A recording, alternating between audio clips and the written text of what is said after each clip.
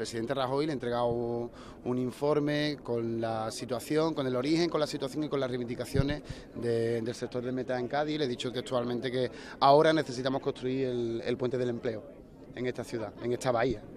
Y yo no sé, por más que miro, veo que hay mm, ausentes en este acto de inauguración, que es la propia ciudadanía de Cádiz y la ciudadanía de Puerto Real. ¿no?